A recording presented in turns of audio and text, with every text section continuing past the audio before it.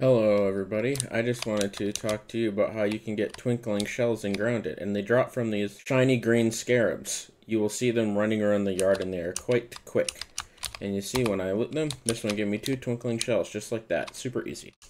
That's how you get your twinkling shells and Grounded.